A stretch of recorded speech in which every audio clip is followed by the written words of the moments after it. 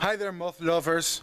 Today I am pleased to announce that I have released the first part of a project that I've been working on.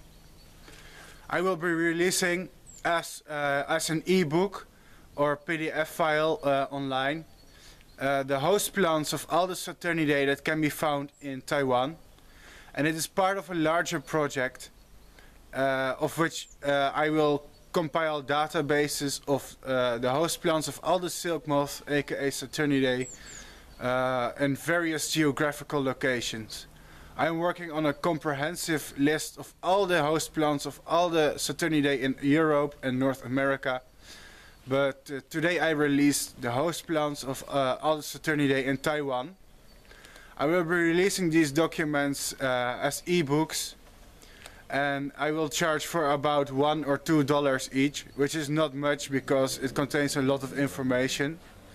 And I've also decided to make it uh, completely free for people who support me on Patreon.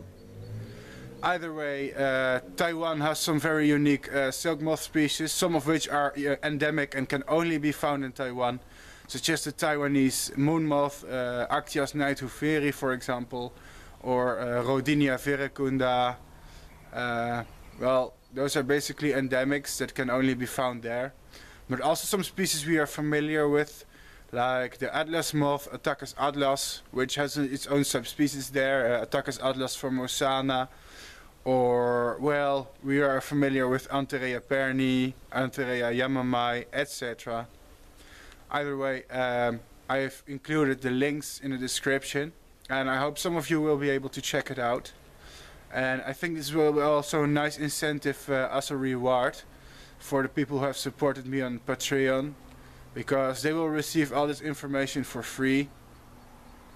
And I really don't hope, hope to charge a lot for this information. I mean uh, like just a small fee for the hours that I've put into it.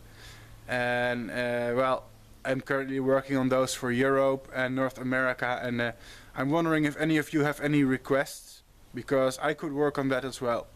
Obviously it will be more difficult for some countries. I mean Europe has like, from the top of my head, like 10 or 20 species of silk moth.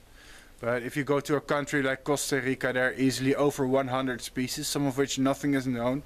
So yeah, that will be a lot harder really.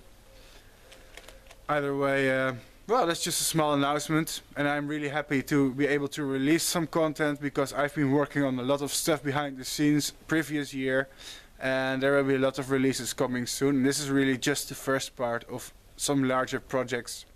Thank you all for watching and see you later. Unfortunately, no insects in this video. See you later.